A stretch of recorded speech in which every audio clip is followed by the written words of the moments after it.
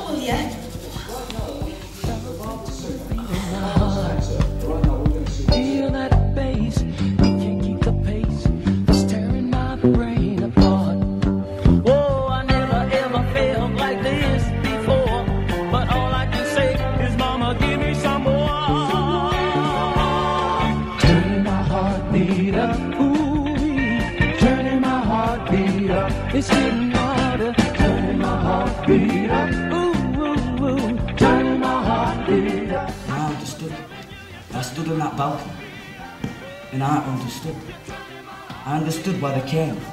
From Scotland, from Wales, from Newcastle, from Stoke, from all over the bleeding country, and queued in the freezing cold for over an hour.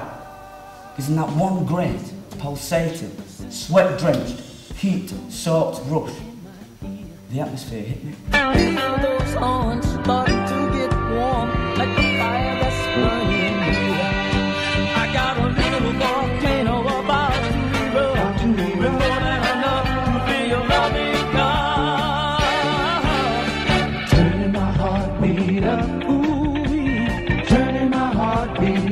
It's getting harder. Turning my heartbeat up. Ooh, ooh, ooh. Turning my heartbeat up.